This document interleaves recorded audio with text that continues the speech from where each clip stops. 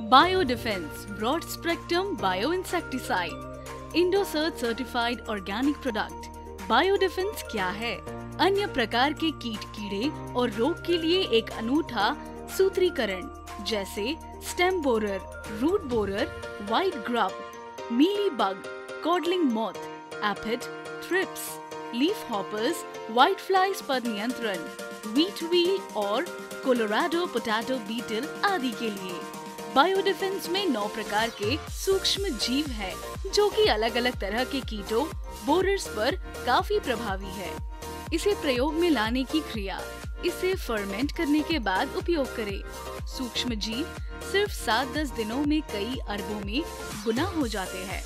ये सब आप देख सकते हैं। इसके लिए आपको क्या चाहिए होगा? 200 लीटर साफ़ पानी से भरा ड्रम बायो डिफेंस का पैकेट। तैयार करने की विधि। बायो डिफेंस के बॉक्स खोलने पर आपको दो पैकेट्स मिलेंगे। इन्हें 200 लीटर पानी में अच्छी तरह घोल ले। हर दिन सिर्फ़ एक मिनट के लिए इस घोल को साफ़ डंडे से घुमाए। ये आपको कम से कम सात दिनों तक, ज़्यादा से ज़्यादा दस दिनों तक करना होगा।